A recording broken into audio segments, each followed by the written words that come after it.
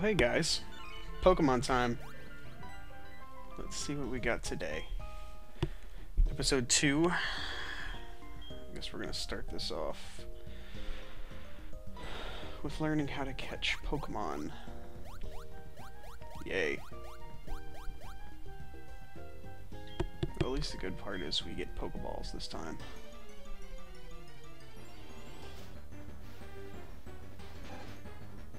We could actually catch our first Pokemon here in the grass. And since it's nighttime, it's probably going to be something like a Hoothoot instead of a Pidgey, which is kind of depressing.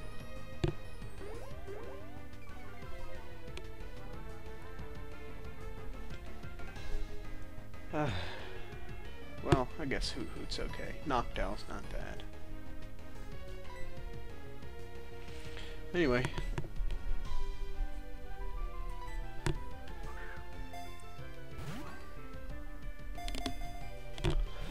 Trying to figure out a way to get the video to actually be bigger so you don't have so much dark on the outside of the screen. So you guys, uh, don't have to like be annoyed by that by that black on the outside of the screen.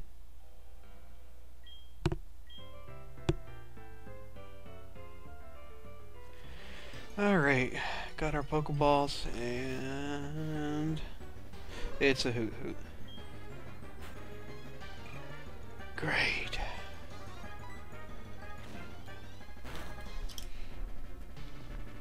Well, let's tackle this bitch a couple more times.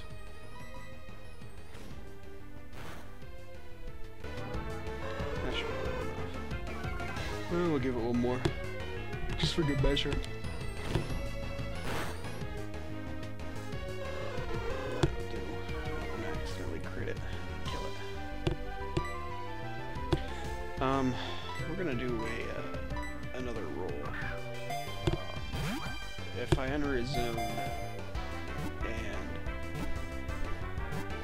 Pokemon I see is a duplicate of one that I've already caught, uh, that Pokemon doesn't count.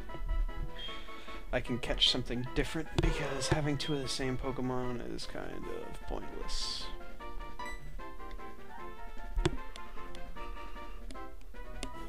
Also, I'm extremely tired. What shall we name this Hoothoot? We'll name it uh, Hooters.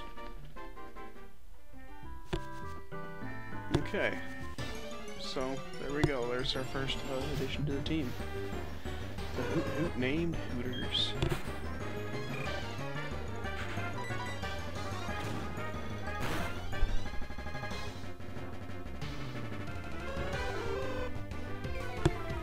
There's a lot of Hoothoots. Again, there's only like mm, two Pokemon in the grass here. At night, Hoothoots and Rattata. It's kind of depressing.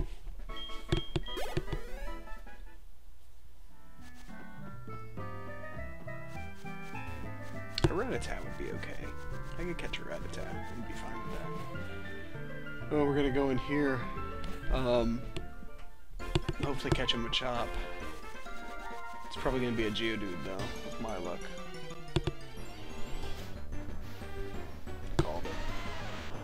Think you can still catch a Machop here. I'm not sure. I know that you can catch a um, Phanpy in the morning.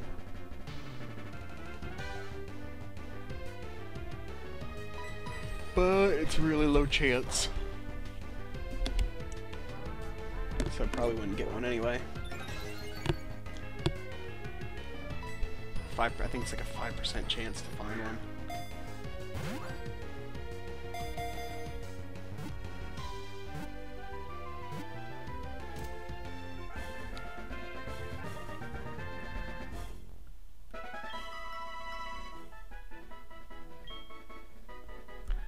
Sorry, I'm not talking much tonight, guys. Just kind of really tired tonight. Long day. Uh, we'll name it Adrienne. obviously spelled horribly wrong. Ah, whatever. Probably gonna replace it.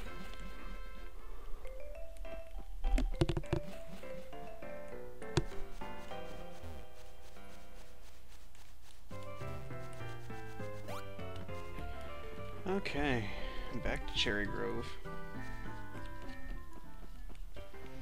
Heal up quick, do some shopping. And then we can uh, catch another Pokemon just outside the city.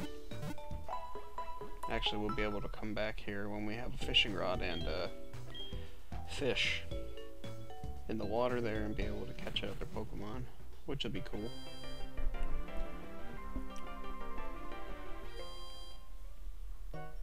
What I'm really hoping for is uh, when I get to Olivine City that I can catch a um, Staryu. Staryu would be great. Great water type. Knows recovery. Ugh. So good. You get recovery, it's like, what do I even have these potions for? Just have it recover its own health.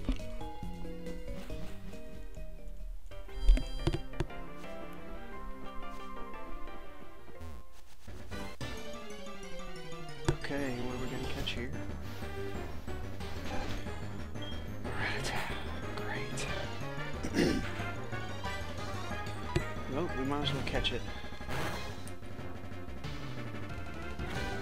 Jesus. Throw a ball at it right now.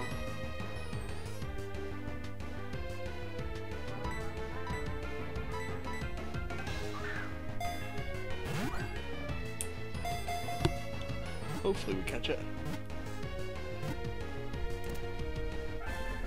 Yay!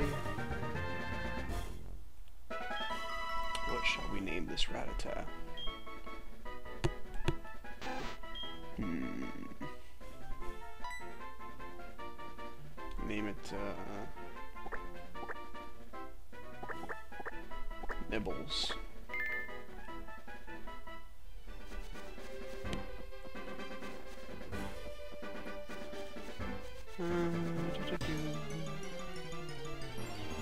Spinarak. Oh, Hula Hoop Hoop. Damn these Hoop Hoop.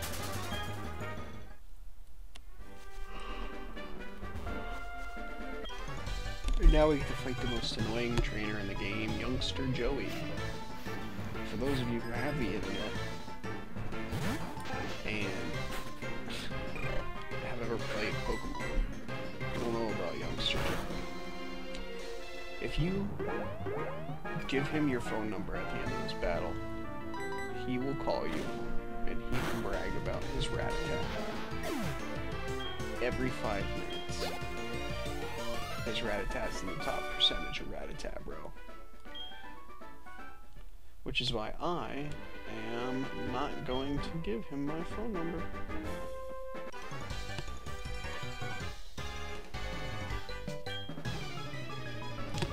I know what what trainers it's good to give your phone number to, and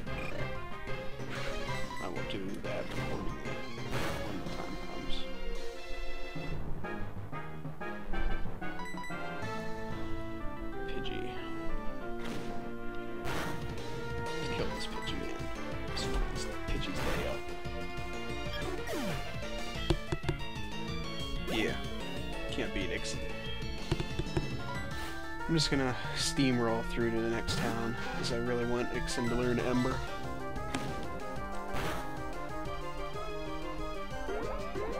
So no grinding until we get to uh, Violet City.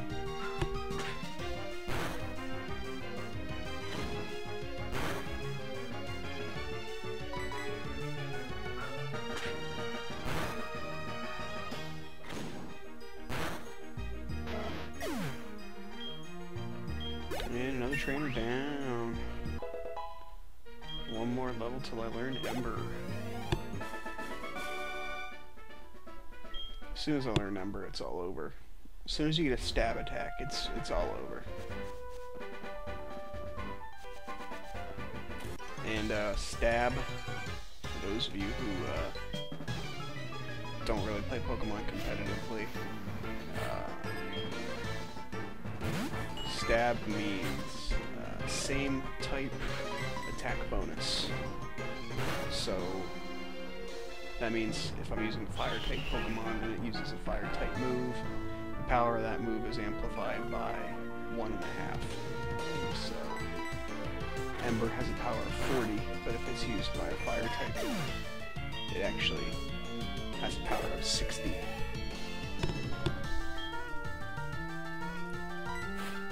Really neat.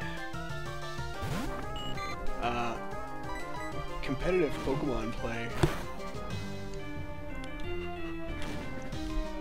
has a lot of math involved. A lot of math. Like EV training your Pokemon, and,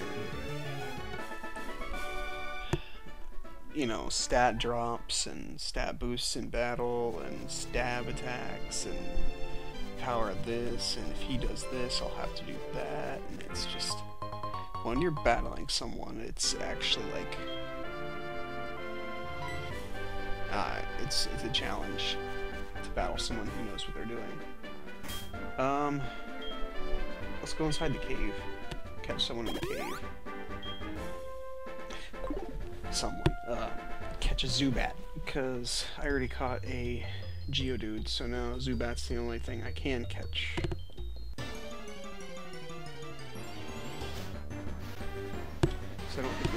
But Geodudes and Zubats on this floor.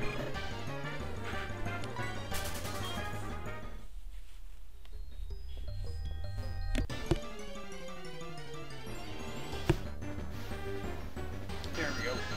Let's catch this thing.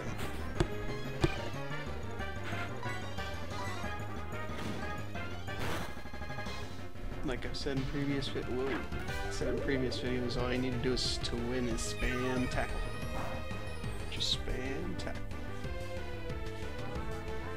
Uh, this thing's weak enough. Use a ball on it.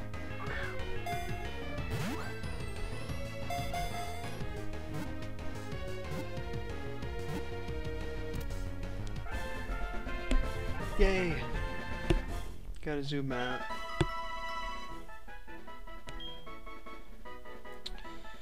And let's see if I have enough spaces to give him the nickname I want to.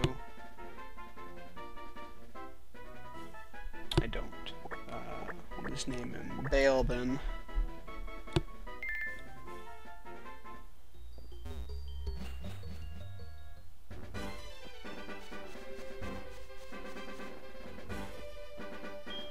Okay, pick up that apricorn, don't know why, apricorns are useless.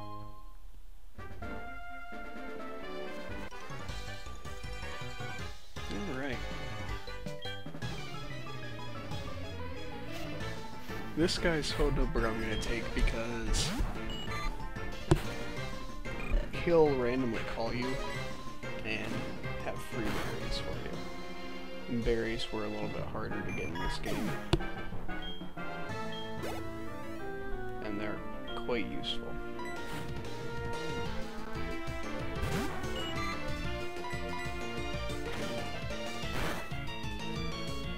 So we'll learn Ember in this fight, which is good because it's the bug catcher.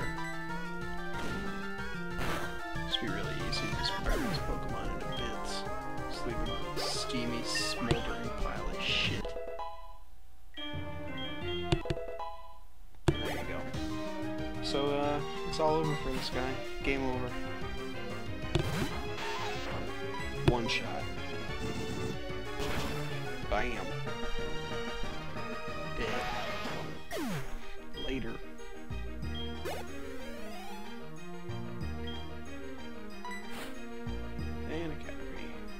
Same thing. One shot. Blam. Dead. Gotta love stabs especially when they're super effective. Super effective, double damage, stab, 1.5 times the damage, it's just death.